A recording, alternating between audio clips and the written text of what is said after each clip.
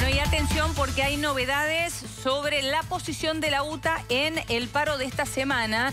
Eh, la información la tiene Adrián Ventura. Adrián, ¿cómo estás? Buenas tardes. Sí, buenas tardes. Bueno, efectivamente, la UTA hace paro el jueves.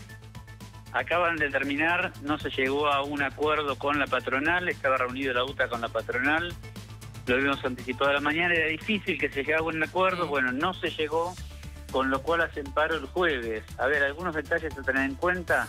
Es un paro para colectivos del AMBA, capital y toda la región AMBA, con lo cual el miércoles, que es el paro de transporte de trenes, subtes, aviones y barcos, ese día sí va a haber colectivos. Pero el día siguiente, el jueves 31, no se va a poder viajar en colectivo.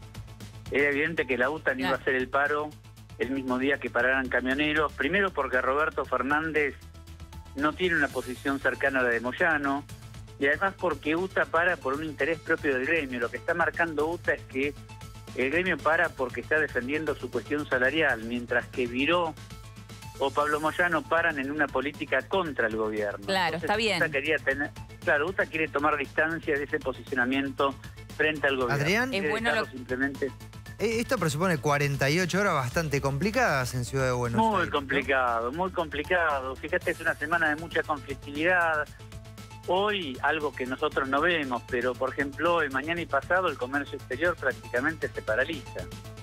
A nosotros, ah, pues el tema aduanas. Sí, estamos con el tema aduanas. ¿Tema aduanas? Por aduana. Sí. Mañana querés hacer trámites en el mm. Estado, mañana y pasado mañana no vas a poder porque te para, mañana al mediodía. Y el miércoles para. Aduana también para el miércoles. transporte tenés, ¿cómo? Aduana también para el miércoles. Aduana para el miércoles.